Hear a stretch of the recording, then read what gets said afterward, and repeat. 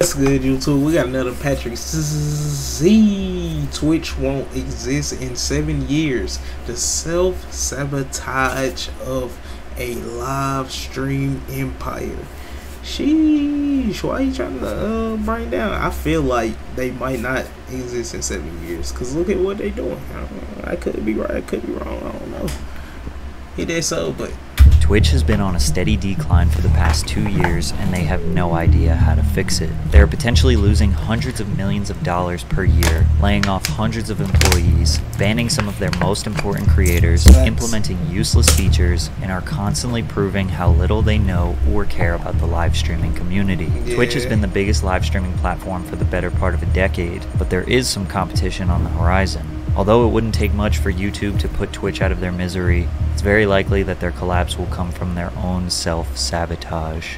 First and foremost, Twitch's financial stability is confusing. And although they reported $2.8 billion in revenue in 2022, it's unclear how much of that, if any, was profit. However, there are a lot of implications that suggest the company is struggling to be in the green. Twitch's four ways of making money are through subscribers, who pay $5 a month to get an ad free experience, as well as other small benefits. In app purchases, which include bits, a digital currency that users can purchase to donate to streamers, partnerships with brands and sponsors, and of course, the number one, advertising. We don't know how many total paid subscribers there are on Twitch. I did find this metric from Stream Hatchet that says in April of 2021, Twitch had 8.7 million subscribers, where 43% of them were Amazon Prime subs. A Prime subscriber is someone who gets an ad-free experience for $0 since they already have an Amazon Prime membership because Amazon owns Twitch. Therefore, Twitch doesn't make any money on that sub. In fact, you could argue they're losing money since viewers are paying $0 and not getting ads, and Twitch has to pay creators $1 and some change for that Prime sub. Anyways, this graph indicates that in the month of April, Twitch had 4.7 million paid subscribers, times $5, which is 23.5 million, times 12 months average, which would be about $282 million in sub revenue in 2021. But Twitch on average receives between 30 and 50% of that money because for affiliate streamers, Twitch takes Yeah. 50% or I can see it being $2.50 of the $5 subscriber price, and for partners, they take 30% or $1.50 of the $5. So if we favor the high end of 50%, that would equal $141 million in subscriber revenue that goes to Twitch. But if Stream Hatchet's estimation of Twitch only having 4.7 million paid subscribers per month is wrong, and they actually have around 10 to 20 million paid subscribers per month, that would bring Twitch's cut between 300 and 600 million dollars per year. Some people argue that Twitch taking a 50% cut of sub revenue is just an act of greed because most of their money comes from advertising. Now, 141 to 600 million dollars is nothing to scoff at, but mm-hmm. compared to 2.8 billion, I can see why people make the claims. However, it seems like Twitch needs this money to keep their business from failing. According to a blog post in November 2022, where Twitch president Dan Clancy, who is now the CEO, announced that creators who make over $100,000 in sub revenue will no longer get their 70 30 split. It will go down to 50 50 and over time, all creators will split the sub revenue 50 50 with Twitch. Why? Well, because it's too expensive to run Twitch. Delivering high can see that. definition, low latency, always available live video to nearly every Man, corner of the crazy I just world is that, too, expensive. just Using ago. the published rates That's from crazy. Amazon's web services, I can see that, interactive video service, or IVS, which is essentially Twitch video, live video costs for a 100 CCU streamer Uh-huh. who streams 200 hours a month are more than $1,000 per month. Now, what they said here is very misleading. If you want to start your own live stream platform, you can pay for Amazon IVS, or basically Twitch's infrastructure. The problem with Dan's statement here is there is simply no way Amazon is charging Twitch the same rate that anyone else would be charged for using IVS. Why wouldn't Amazon do that?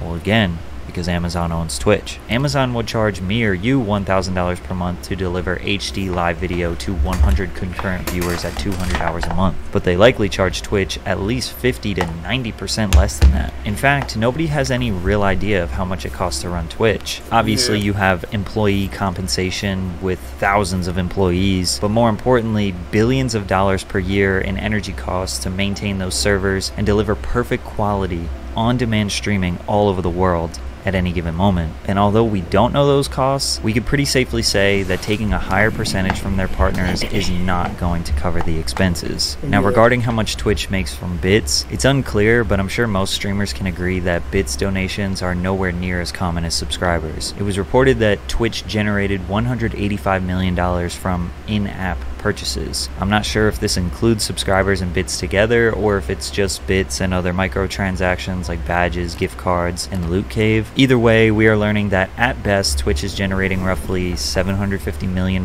from subs and in app purchases, or at worst, 700 mil, 700 mil. That's how much y'all making. I, I ain't gonna lie. I mean, that is y'all company, so I can see y'all making 700 mil.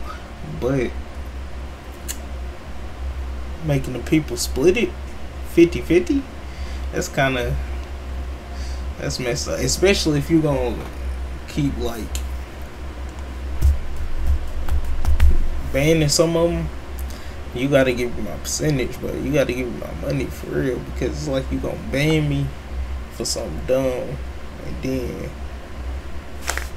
you still want your 50 50. Ah. Then if I'm going, if I'm somebody like any of the big people he named at the beginning, well, y'all know, if I'm, if I'm somebody like Adin or Kai, and I'm and I'm bringing y'all some good amount of money on here. I'm bringing in more money than most of the people here. Not even I ain't even just gonna say them, but like if I'm just somebody on the top, if I'm the top people and I'm bringing a lot of people in here and y'all banning me, I'm gonna need my money because it's like, dang, I'm the one that's got dang keeping the ship flowing. I'm the one that's really bringing the money so I can see.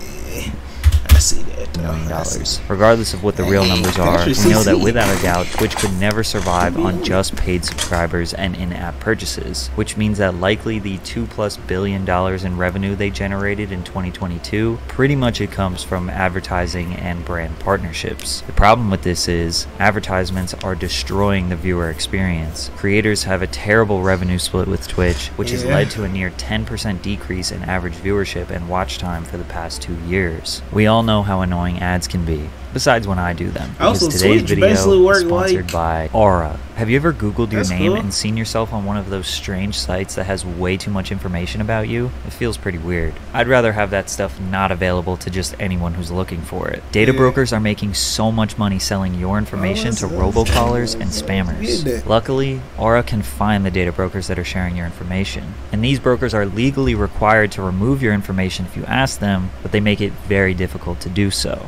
That's where Aura comes in and submits opt-out requests on your behalf. You can try Aura for free for two weeks using my link, aura.com slash patrickcc. Aura also does so much more to protect you. Antivirus, VPN, password manager, identity theft protection, credit monitoring, and much more. And the best part is you get everything at one affordable price. Let Aura yeah. protect you and keep your information safe online. You can let people continue to exploit you Oh, and profit off your private information, or you can go to aura.com slash patrickcc to start your two-week free trial. Link in the description. Thanks, can't Aura. On an average Twitch stream, a viewer will get a minimum of three minutes of advertisements per hour. However, in late 2022, Twitch announced the rollout of the Ads Incentive Program, So where they encourage really streamers to run 8 to 10 minutes of ads per Dang. Hour. Multiple minutes of ads being displayed Twitch really consecutively like will result in YouTube a viewers either leaving the platform uh, or clicking off to another streamer. The only problem is every time you click on a new stream, you will get hit with another non-skippable making 30 money second ad. uh, There is no way to skip the ads. There is no way to escape the ads, and there is no way to rewind the stream and see what you just missed. This has led to a near 10% decrease in hours watched and average viewers from 2021 to 2022. Both of those metrics are also down in 2023 by 5%. Simply put,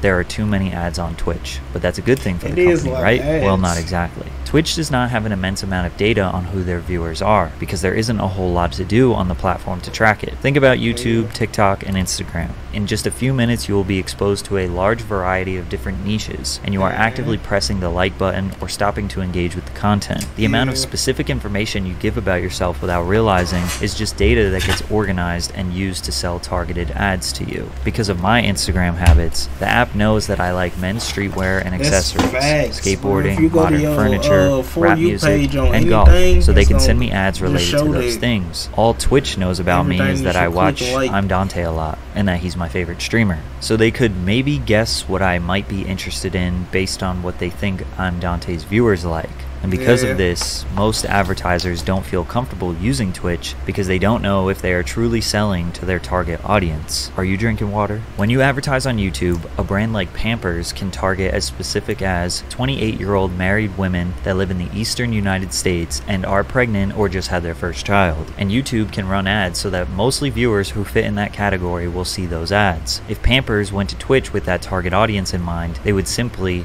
not know where to run the ads. The only thing that Twitch knows is that their audience is mostly men ages 13 to 35 who like video games. This eliminates a huge chunk of potential revenue because only a small amount of brands want to advertise to that audience. Energy drink brands, unhealthy snack brands, car brands, and other men's lifestyle brands love advertising on Twitch, which leads That's to facts. interesting sponsorships like QTCinderella baking a cake on a live stream, but with a Manscaped partnership that says "We save balls" on the screen. to make Nah, things worse for advertisers, every deal has to be a long conversation with the ad sales team at Twitch, back and forth emails, phone calls, contracts, a process that takes forever. But any brand or individual can simply go to YouTube, click start advertising, and run a campaign without ever talking to anyone. Twitch will never be a real competitor if they don't figure out a way to get more reliable data Yeah. on their users and create a programmatic ad system so brands can sell to their audience without relying on communication with a Twitch employee. And because of their inability to produce substantial revenue, they hired internal leadership who would shift the focus away from creators and towards driving profits. The senior vice president of global creators, Constance Knight, created a new initiative cut costs, cut costs, cut costs. Every decision over the course of her tenure was fully based on how it was going to increase company profits, which isn't necessarily her position since she is the head of global creators. Therefore, the needs of creators were constantly being ignored. In one specific example, Knight said that burnout was not a valid reason for creators to not meet contractual obligations. If you don't know, most of Twitch's top creators have contracts directly with the platform where they are being paid essentially a salary or hourly rate to stream exclusively on the platform. These contracts require them to stream anywhere from 70 to 100 hours per month, which is roughly 3 hours per day. Oh, that's why XQC be on stream like that. Cause I ain't gonna lie, every time, most of the time I open up my Twitch app, XQC is. Yeah. That nigga streaming, he be streaming for hours too. bro. That's why. or four hours per day if you want the I used to weekends off. But the VP was not letting She creators use burnout, or basically them being unmotivated to stream as a valid excuse to not meet their monthly stream requirements, which led to Twitch employees feeling like the company was losing its way. 12 Twitch employees had gone to HR or logged complaints with their superiors overnight. Five had left the company citing Knight as a reason. Now, some of you watching could never be convinced that sitting at a computer and playing video games could become a stressful or an annoying job in any way, shape, or form. But at the end of the day, it still is a job, and anyone can burn out from any job that they do every single day for years. Another previous Twitch employee took to YouTube to say how they crazy feel about the company. Twitch doesn't care about creators. Twitch cares about looking like they care about creators. Everything Twitch has done for the last four years has been with the goal of feeling like they understand and care. Although this could seem like an employee who is just upset about being fired, Twitch has shown time and time again that no matter how large of a creator you are, they will take you down, even at your highest moment. Kai Cenat, yeah. a creator who only just started streaming in February of 2021, dominated Twitch in all of 2022. Saying, he reached Kai the very rare milestone of 100,000 subscribers, bro. which made him the really, number one really most subscribed creator at that time. This prompted him to do a subathon, which was a 24-7, 28-day long non-stop stream in February 2023 to try and break the record for earning the most subscribers on Twitch in a single month. That record was previously held by Ludwig at 283 3000. Not only did Kai break it, he demolished it, peaking at 306,621 all-time subscribers. It was reported that he earned Twitch $10 million, while Kai only received a $2 million payout. These numbers were false, and Kai did not appreciate the narrative. Twitch made 15 to 20 million dollars on Kai Cenat, and Kai only brought about 2 million back to the to the to the bro. Where y'all getting these numbers from? Where bro? Oh, where bro? Where are these numbers coming from? Because now it's a narrative that I'm just a black man who's getting used for millions and millions and That's millions of facts. dollars. Kai breaking the sub record was huge news, covered by publications like the BBC and Bloomberg, and most of us would assume that Twitch would do anything to boost Kai up. After all, really- he made history on that really say how platform. At the very least, they would try to use this amazing know. moment to show the world what wonderful opportunities there are I for wonder how creators on much Twitch. they They could paid? squeeze out more press with Kai and do campaigns to get more people or brands interested in live streaming. But I ain't even talking about the streamers. I'm talking about. I wonder how much Twitch get paid off of it because the streamers, that's that's understandable. That's their business. But when it comes to Twitch, though, I wonder how much they making off of it as as like the cut. That's a, that's a good little question, especially if you, like I said, if you just bending me a lot. Yeah, I wonder how much. But no, instead, they sent him a $100 pair of sneakers and banned him from their platform. See what I mean? Contracting him. oh! Ah! Congratulations, Kai. They coulda on sent your Brown contract.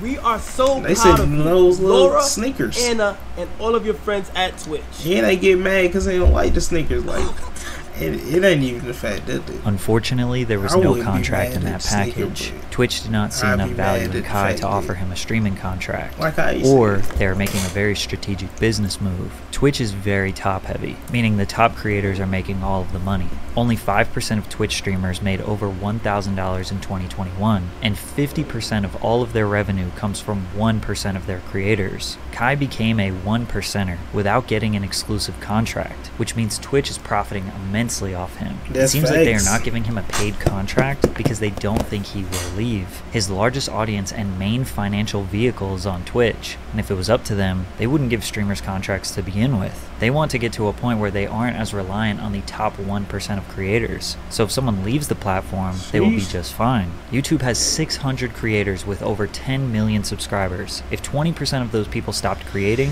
YouTube wouldn't be hurting financially. Eventually, those creators will be replaced, but Twitch 1%ers can't be replaced as quickly or as easily. Maybe Kai is a transitional point for Twitch as a company to see if they can keep 1% talent without paying them additional money. Just a few short weeks after they sent him the sneakers, Kai Cenat announced he was banned from the platform on April 17th. How could they possibly ban the number one creator on the site? Nobody knew the reason why, but it prompted support from people like Kyrie Irving and Nicki Minaj. We later found out that Twitch told Kai it was from a GTA clip where he promoted simulated sexual activity. This was the clip. Come on. Five, four, three. But they ain't about to be doing that, though. Oh my god! My boss! My boss! He pretended like he was receiving services from a fake woman in a video game. Meanwhile, there's a ton of real borderline sexual Bro, activity on that website. I don't understand it because, like, if you go to the hot tub, if you go to the ASMR, them chicks be on wild freaky time on on, on Twitch, and you be like, they'll ban them for like doing something not even close to what they doing. That's crazy. And you got kids watching that, bruh. But they uh, they won't ban them. They won't ban them. They won't ban them hot tubbers or them ASMRs. That's crazy. Site, let alone I'm simulated. Twitch is just reminding him that he, no matter how big he is, will not be able to break the rules. And everyone knows Twitch's terms of service are extremely unclear. In 2019, Brazilian Twitch streamer Gabriel Baptista received a suspension because he showed a Pink Floyd poster during his broadcast. Faria was banned for wearing gym clothes that Twitch claimed looked like lingerie. Dellor was banned for smashing a keyboard over his head. And Dr. Disrespect was banned for, well, they never told him why. Sadly, Kai's ban is just one of an extremely long list of incredibly stupid bans that Twitch has given out and will continue to in the future. So, with Twitch continuously making the wrong decisions when it comes to profits, employees, and creators, is competition a real threat to their company? Recently, the live streaming platform Kick has made some noise after their $30 million plus deal where they exclusively acquired Hey, 30 Adin Ross. mil. Kick works and looks Yes. exactly almost like Twitch. The main lot, difference man. is that they have a much more lenient terms of service. mil. Streamers can gamble, say and do just about And anything they want without free- getting banned. And the biggest thing is that they are offering creators a 95% cut of their subscriber revenue. Jared that ain't bad. FPS, a Kick streamer, highlighted his Kick earnings at $3,800 for 800 subscribers, which would be about $2,000 on Twitch. However, I don't think this is going to be enough to really compete with Twitch. Think Yeah. about all of the problems I highlighted in this video. That's Kick true. is going to have to deal with all of those same problems. That's but more importantly, with advertisers, they will be targeting the same niche as Twitch, but with less censorship and more risque content. Advertisers will feel even less comfortable than they already do with Twitch. But the biggest problem is Kick is built on Amazon IVS. For real? Remember when Twitch said it was too expensive to run Twitch on IVS? Well, Kick uses the same infrastructure. The He difference is Kick is likely paying at least 20 to 50% more than Twitch is to keep their business so- operating. So in a way, no matter how successful Kick gets, they will be paying millions, if not billions, to Amazon, who could use that money to fund Twitch. Now, YouTube gaming, or their live streaming sector, could very well be a threat. The worst part about YouTube is that the live streaming experience is just not as good. The chat is chaotic and hard to read. You can't look at chat logs, which makes it really hard to moderate. The raid feature is terrible. The discovery page for live streamers actually looks like they don't update it. And they lack many of the small features that make Twitch streaming more dynamic and more fun. Yet, even with all of those downsides, YouTube still holds nearly 15% market share in the live streaming space. So why is YouTube a threat? It's very simple. YouTube has 2.5 billion monthly active users compared to Twitch's 140 million. YouTube has a strong and reliable ad revenue system, which generated $29 billion last year. Plus, they are offering 70 30 splits for streamers. And if you build a following up as a streamer on YouTube, you now have a whole YouTube channel that you can post regular videos on. You just built yourself two assets at one time. Most Twitch streamers have to post clips of their streams on YouTube in order to grow. And even still, the translation is not that great, and they end up being more popular on YouTube. If YouTube just got their live streaming page to operate exactly like Twitch or Kick, it wouldn't really be that hard for them. It wouldn't make any sense for small streamers to use like Twitch. 1% though, 'cause they- streamers they like Hasan and. XQC wouldn't they- immediately jump ship, or maybe never because they already have a huge following. At the same time, everybody has a price. Nobody thought Ludwig would switch gonna take off platforms, your but he did. So why hasn't YouTube tried to take over? Especially since I claim it'll be so easy for them. Maybe they just don't see live streaming as a worthwhile business investment. Think about everything I mentioned in this video. All the hurdles, all the expenses, all the bans, moderation, discoverability issues, creator contracts, advertiser uncertainty. Maybe YouTube thinks that live streaming will never be as profitable as video on demand, film, sports entertainment, and music streaming.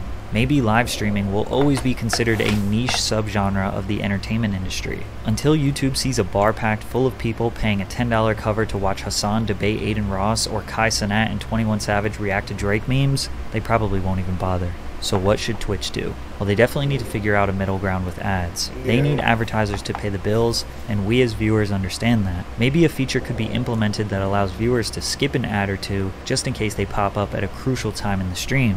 Maybe even a feature that allows viewers to watch ads for a reward, or uninterrupted ad time when there's some downtime in somebody's stream. Kind of like how mobile games will allow you to watch an ad for a reward. Or you could exchange personal survey information for less ads. It's invasive, but hey, they're going to try to do that anyway. And after they improve their ad system, just keep the 70 30 revenue split with all creators, big or small. Most platforms provide a better split than that, so that's the least they can do. Also, more clarity and consistency when it comes to streamer bans seems like a very fair ask. Just tell people why they were banned in detail. Timestamp it, provide a clip. Every single time someone is banned, it should be the same process. Most importantly, they need to improve discoverability for small slash medium sized creators. Twitch streamers relying on YouTube or TikTok to gain a following is absolutely ludicrous. Twitch is way too reliant on the one percenters, and they're way too reliant on other platforms. Ultimately, I want to see Twitch win.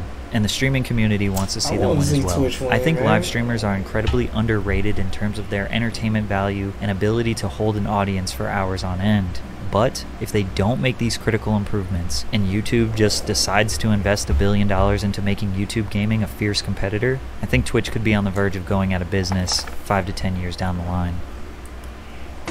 Hey, will this affect Patrick CC? Cause he, he he's on Twitch. That's a good. See y'all next one.